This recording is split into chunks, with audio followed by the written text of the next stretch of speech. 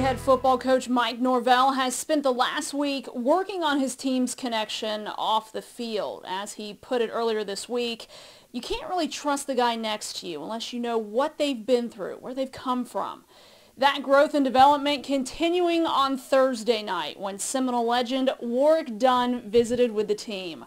Norvell said he has unbelievable respect for Warrick Dunn, not just for what he's done on the field, but off the field with his charities.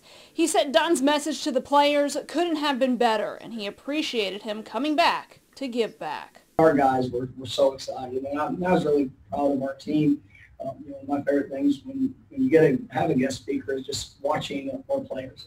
And when you see 100 and whatever, 120 something you know, players and support staff and every, I mean everybody that I saw was sitting there taking notes. We started around 7:15ish, and um, it felt like five minutes had gone by. And I look up at the clock, and it's been an hour.